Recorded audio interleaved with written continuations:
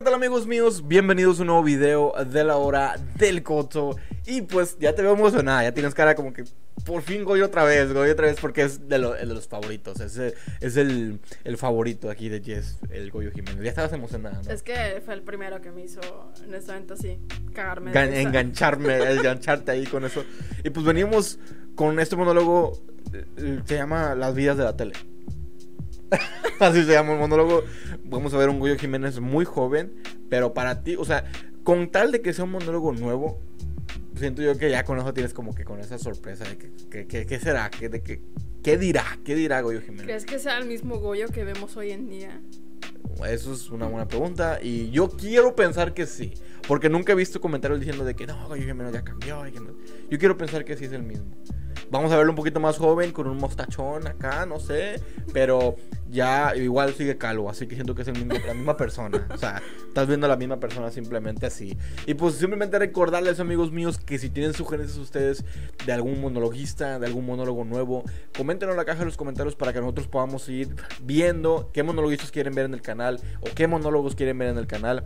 Porque sabemos que pues hay muchos monologuistas que todavía no son tan populares o con mucha exposición, como dices vamos a tratar de también tomar ese tipo de monólogos, de monologuistas en cuenta. ¿No? Es que yo pensé que ibas a hablar porque él te así que. no, mi cabello. Pero pues siento yo que como quiera también nosotros quisiéramos conocer a monologuistas que tal vez son conocidos en España y tal vez no en, todo el mundo, pero en España sí. Es, es, lo que me llama la atención. De hecho, eh, ya lo habíamos comentado en un directo de que hay muchísimos monologuistas que no hemos visto, eh, comediantes también que no han tenido tanta exposición. Y de hecho, eh, pues preguntamos y salieron bastantes, sí. pero bastantes que la verdad sí me da curiosidad de saber qué otros eh, comediantes monologuistas existen aparte de los que pues ya conocemos, o sea. Eso estaría bien conocer, pero pues están ustedes, si ven algún comentario que ya tiene un monologuista que ustedes también recomiendan, denle like a ese comentario para que esos comentarios vayan resaltando más y ya nosotros podamos verlo y decir, no, pues sabes que la gente pide esto y que qué bueno que sea algo nuevo, un monologuista nuevo, porque queremos seguir trayendo ese tipo de contenido, pero ya también con esa variedad, darle exposición a esos que todavía no son tan expuestos y pues también salir de la, de la misma que hacen otros canales que ya están haciendo lo mismo.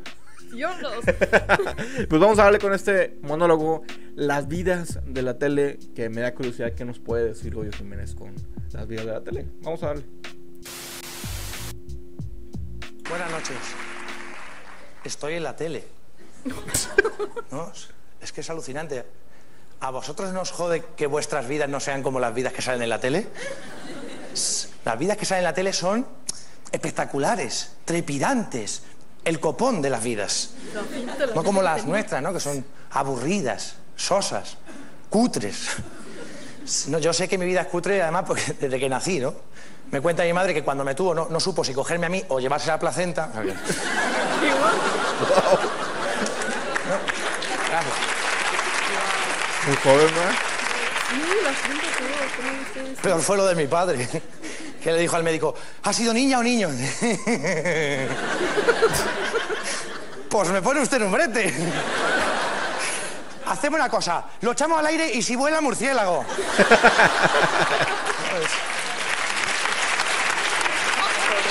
lo echamos al aire.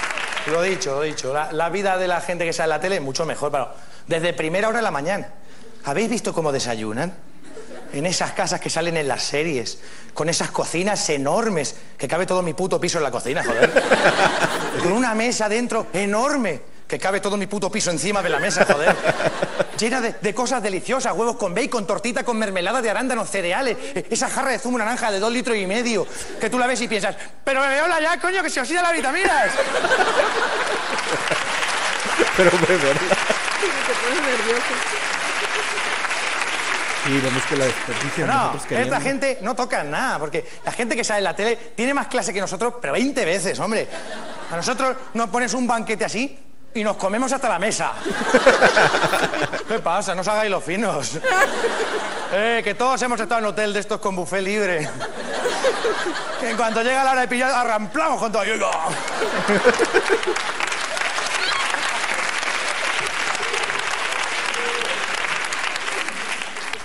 Échate más donuts, tío, que se va a llevar nueve.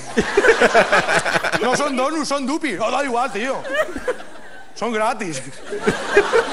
Filosofía del pobre reventante antes que sobre.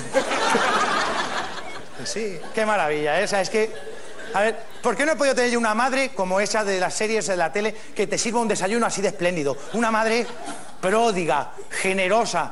No una madre como la que me ha tocado. Agarrá. Púa. Miembro fundador de la cofradía El Puño Cerrado.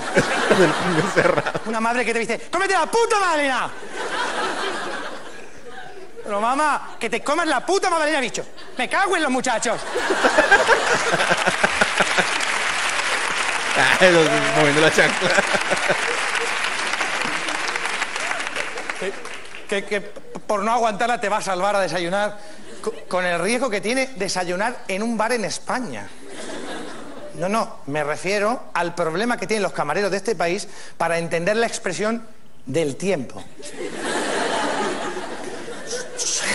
Tú le dices a un camarero cualquiera de España, perdona camarero, que, esté un, poco de prisa, me pones un café con leche con la leche del tiempo y da igual.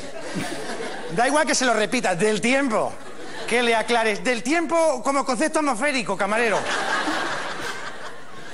The weather, que dicen los ingleses. Ser. El tiempo que hace aquí ahora, no en el Sahara en agosto. El tiempo sin ti, camarero, no sería tiempo, sería empo, por Dios. Da igual. El camarero se va a la cafetera y veremos qué hace.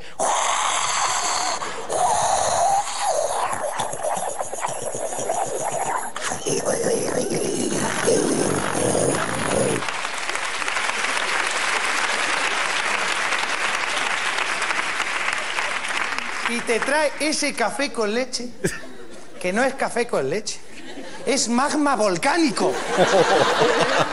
Pero, ¿Y tú que estás distraído? Ahora mismo muevo el coche en cuanto me acabe el café.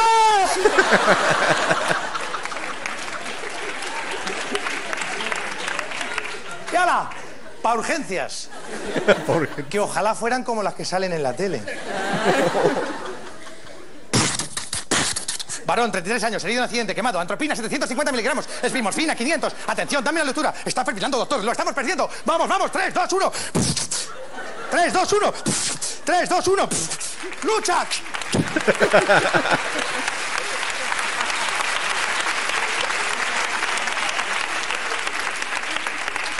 Pi, pi, pi, pi.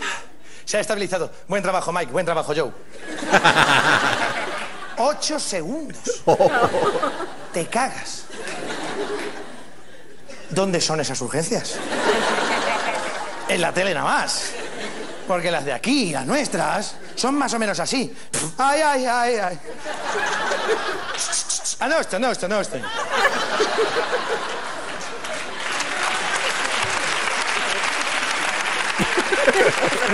Ay, ay. He tenido un accidente. Hasta que no se ha cancelado el normativo de régimen interno, esto no puedo subir al centro. Estoy quemado. ¡Ah, que me estoy yo que no quiero que estés aquí! ¡No te los cojones! ¡Bum! Está fibrillando porque os hago una camiseta. Lo mejor de la vida que sale en la tele es el sexo. Coño, lo hacen con música, con amor, muchas veces y recreándose. Que no sé vosotros, pero yo a la tercera flexión le he vomitado la cara a la chavala.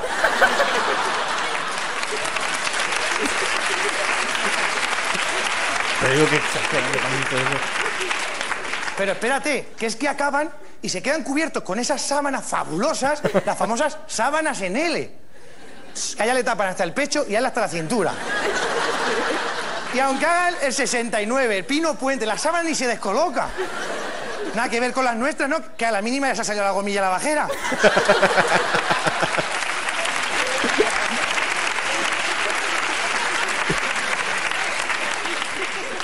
Ponte tú encima que se me está durmiendo la pierna.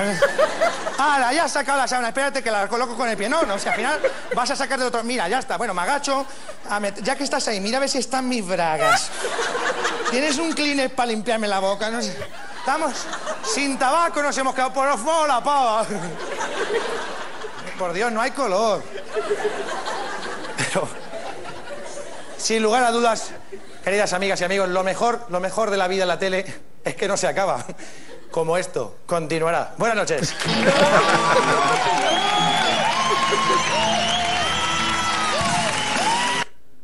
No, maldito Goyo. Pues bueno chicos, eso fue Goyo Jiménez con las vidas de la tele, como siempre, ah, incluso bien chavillo, como decimos acá, bien joven, bien chaval, no decepciona. O sea, desde esos años tenía todo ya el, el talento. No, la verdad es que no sé, Goyo. Mis respetos, porque les digo, desde. Creo que fue el primer monologuista que me hizo cagarme de risa, pero literalmente. Sí. O sea, literalmente terminamos de grabar y todavía seguía riendo. Sí, todavía te seguías riendo de los chistes todo. Eso es cierto, es una historia real. Goyo Jiménez hizo que, que Jess se riera incluso fuera de cámara. O sea, estábamos allá en el cuarto y ella estaba risa y risa recordando los chistes y todo. Y, y desde ahí entonces nació como que esa de que necesidad de que ella reaccione más a Goyo Jiménez y todo eso. Así que eso es historia real y pues en esta ocasión no decepcionó con las vías de la tele que tiene tanta razón, tanta razón. Yo, le decía a Jess también así como que no le hagas caso a la tele. No hay hombre que pueda eh, seis veces al día de que andan así como de que este como si nada, como si nada que lo presumen acá como que ay lo dimos tres veces y no sé yo me quedo así como que ¿Cuándo? ¿Cuándo?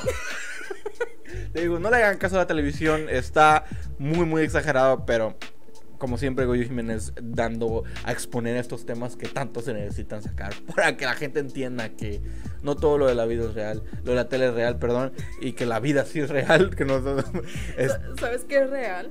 Lo del banquete. De Sí, cuando- no, hombre. En las telenovelas y todo, cómo se ven todo bien preparado acá y todo. Es una realidad que cuando hay eh, desayuno gratis en la mañana, es como que apaláncate. Sí, eso sí. De hecho, sí, si nosotros estuviéramos en ese tipo de mesas grandes en las que está todo lleno el banquete, comes todo lo que quieras. O sea, toma todo lo que se pueda. No es como que todos con clase con un platillo nada más. Con la, que están comiendo fruta.